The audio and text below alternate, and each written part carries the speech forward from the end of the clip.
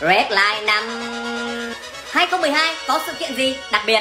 2012, thế giới nổi lên với hiện tượng rất nhiều người tin về thuyết mạt thế, cho rằng ngày 21 tháng 12 năm 2012 là ngày tận thế. Oh my god, Red Line 2012 thì giờ chúng tôi vẫn đang ở đây chứ đào đâu ra tận thế nhỉ? 2012, bàn dân thiên hạ được chứng kiến vụ kiện tỷ đô giữa Apple và Samsung.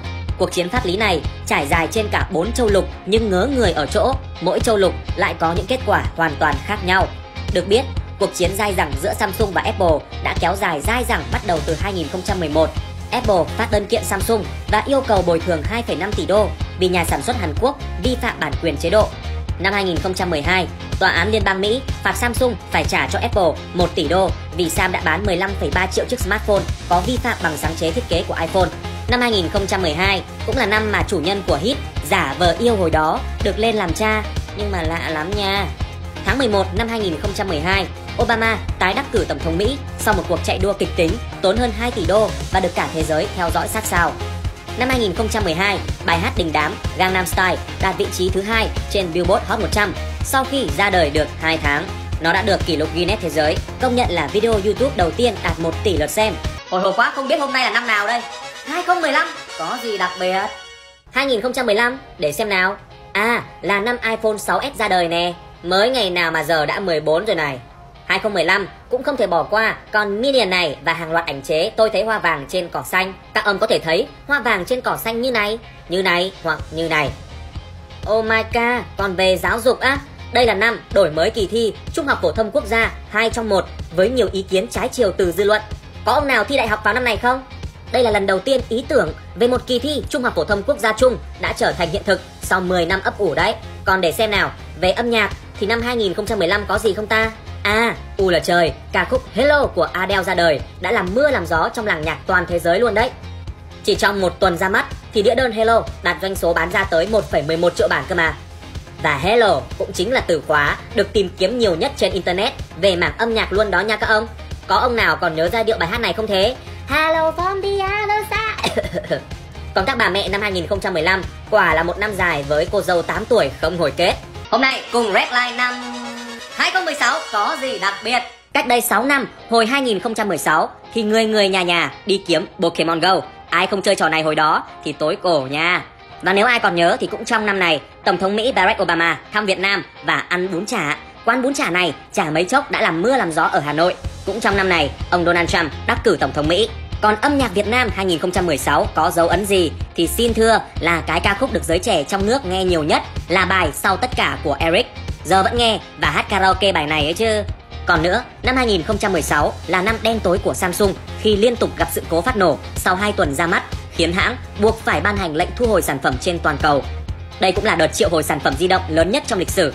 Sau một lần đổi trả máy mới vẫn không mang về kết quả khả quan. Note 7 chính thức bị khai tử chỉ sau 2 tháng lưu hành. Chia buồn với Samsung ngày đó nhá.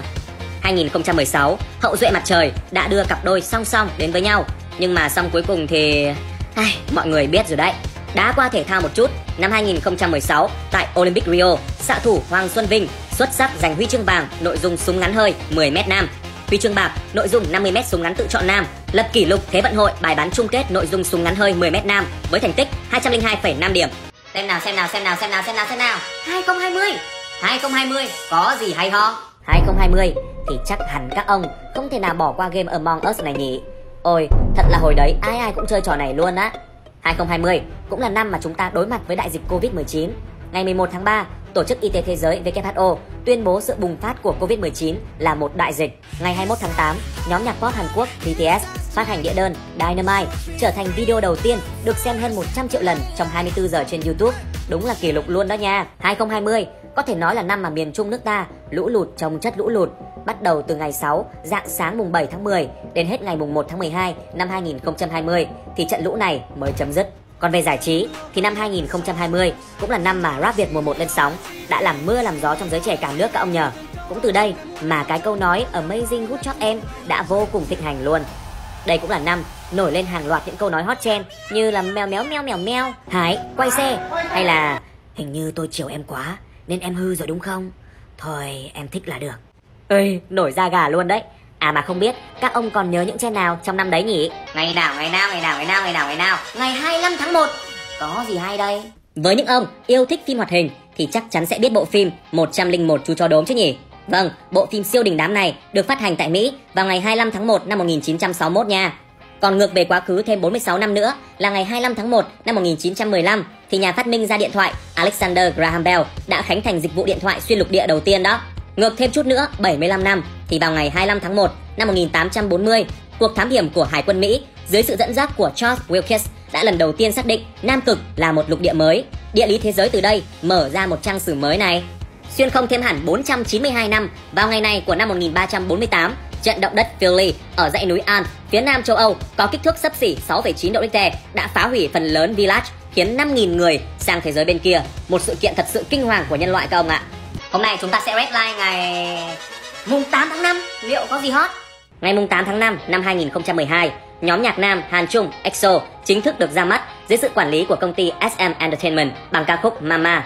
Ai là fan cứng của EXO nào? Còn ai thích uống coca thì chắc không quên ngày này được vì vào ngày mùng 8 tháng 5 năm 1886, tiến sĩ John Pemberton đã lần đầu tiên mang Coca-Cola đến với người dùng trên thế giới khi bày bán tại nhà thuốc ở trung tâm thành phố Alaska, đánh dấu sự ra đời của Coca-Cola 72 năm trước, ngày mùng 8 tháng 5 năm 1950. Theo các tài liệu của Mỹ, Tổng thống Mỹ ký quyết định chính thức viện trợ quân sự cho thực dân Pháp tiến hành cuộc chiến tranh xâm lược Đông Dương. Ngày này được coi như một mốc đánh dấu sự dính líu của Mỹ vào Việt Nam các ông ạ. Mặc dù bây giờ hòa bình rồi nhưng mà vẫn hơi tức tức nha. Ngày mùng 8 tháng 5 còn có một sự kiện siêu kinh khủng đó là vào năm 1902, núi Bele trên hòn đảo hải ngoại Martinique của Pháp phun trào, quét sạch thành phố Saint-Pierre khiến 30.000 người phải đi thăm ông bà ông vải và chỉ còn lại hai người sống sót. Còn ai là fan của nam tài tử Kim Seon Ho thì làm sao quên được ngày mùng 8 tháng 5 vì là ngày sinh nhật ảnh mà. À, mà ngày này cũng là ngày sinh nhật của streamer Virus nữa nha. Redline ngày này năm xưa, hôm nay sẽ là ngày 29 tháng 6, có gì đặc biệt? 29 tháng 6 năm 2007, Apple phát hành iPhone đầu tiên. Wow, tung hoa tung hoa đi nào mấy ông. Và đến năm 2022 thì đã ra đến con iPhone 14 rồi. Có ông nào đã sở hữu nó chưa thế? Review ngay đi xem nào. Ngược dòng thời gian 19 năm về ngày 29 tháng 6 năm 1988 thì Happy Birthday chàng bắp của rất nhiều các bạn. Ôi rồi ôi, năm nay Bắp đã 34 tuổi rồi mà vẫn trẻ quá nhở. Ngước dòng lịch sử về ngày 29 tháng 6 năm 1966, máy bay Hoa Kỳ ném bom thủ đô Hà Nội và thành phố cảng Hải Phòng của miền Bắc Việt Nam lần đầu tiên. Đây là sự kiện khiến nhân dân ta phải chịu khá nhiều tổn thất cả về người và của đấy ạ. Về hiện tại một chút, ngày 29 tháng 6 năm 2009, tài chính Bernie Madoff bị kết án 150 năm tù tối đa của Hoa Kỳ vì tiến hành một kế hoạch Ponzi lớn.